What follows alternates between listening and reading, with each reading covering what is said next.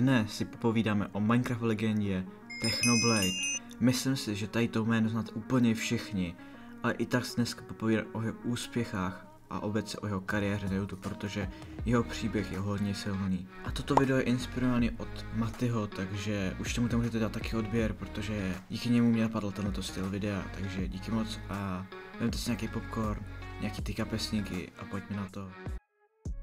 Technoblade neboli Alexander si svůj YouTube kanál založil v roce 2013 a to 28. října. Jeho obsah se vyvíjel nejvíce kolem hry Minecraft, kde často nahrával videa ze serveru třeba Hypixel, anebo různý Hypixel minihry, jeho nejoblíbenější minihry byl Bed Wars a Skyblock, ale taky se rád zúčastnil z Minecraft turnajů a dokonce ho hráči nazývají jako za jeden nejlepších Minecraft PvPčkářů a taky byl jeden z nejoblíbenějších youtuberů, co se týče PvP obsahu. Jako další super Technobladeový úspěch byl takový, že byl pozor na server Dream SMP, kde hrál jednu z nejdůležitějších rolí. Taktéž bylo hodně známo, že Technoblade má hodně dobrou přátelskou rivalitu s youtuberem Dreamem neboli zakladatelem Dream SMP. Proto Dream v srpnu, když Technoblade oznámil, že trpí vážnou nemoc rakoviny, tak Dream přispěl 20 000 dolarů na vývoj vakcíny proti rakovině, což je přibližně 507 000 korun českých, což je celkem dost, myslím. Ale byl to hezký krok od Dreama a za tohle hodně lidí má rádo.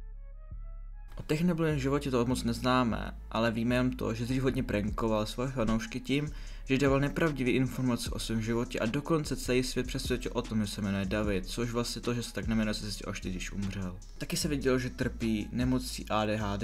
Minulé léto, v roku 2021, 28. srpna, vlastně oznámil, že trpí rakovinu.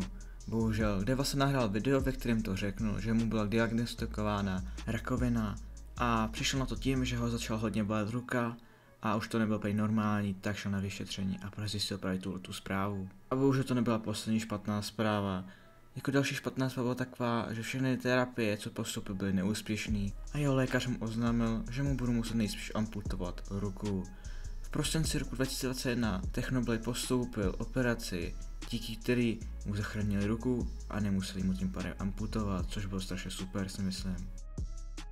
Technical nejstarší video je vlastně video, ve kterém vyzval na 1v1 majitel zahraničního serveru starého, který dřív byli hodně populární, něco jako Pixel teďka. A tohle jsou zase nejpopulárnější Minecraft videa, co Technoblade vydal na svůj kanál.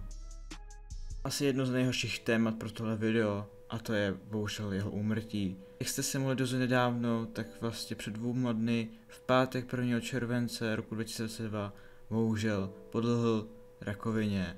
Tu zprávu světu oznámil jeho otec, když vlastně 30. července místního času večer vydal na technologii kanál video, ve kterém vlastně řekl, že když toto video vidíme, tak už nežije. Všichni si začátku mysleli, že to nějaký se prank od Technoblade, ale bohužel toto nebyl prank. Sám tam řekl, že to není žádný prank a že toto video, co tam říká, je všechno reálný a bohužel, když ho uvidíme, tak je opravdu mrtvý. Potom, co se to celý svět ověřil a střebal, tak vlastně začaly vycházet různý videa o Technoblade a samotný Dream a Dream SMP kanál začali dát plno videí, ve kterém začali vydávat různé vzkazy pro Technoblade od různých youtuberů.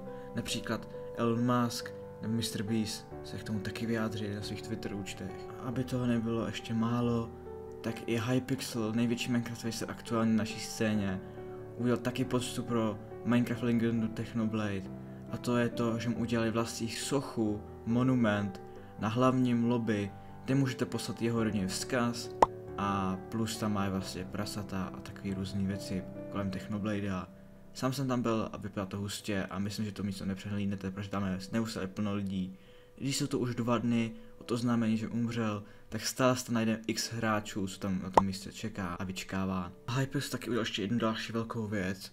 A to takovou, že na charitu přispěl 50 000 dolarů na počtu Technoblade. A tak ty se před i Lunar Clan, tady taky zaslali nějaký ty peníze a to přes 10 000 dolarů. Dokonce byla vypsaná i petice, kde vlastně Minecraft hráči rozhodují o tom, aby byl přidaný text Technoblade Never Dies do Minecraftu. No a dnes v neděli se stalo to, co nikdo nečekal, a to je to, že Minecraft přidal na hlavní stránku v launcheru na prase reskinul jeho korunku, takže vlastně vzpomínka na Technoblade už je i v Minecraftu.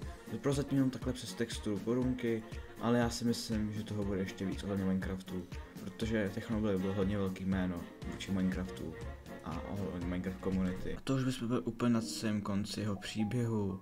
Jestli se něco zapomněme, to napřed do komentářů a odpočívej v pokoji Techno. Hello, everyone. Technoblade here. If you're watching this, I am dead.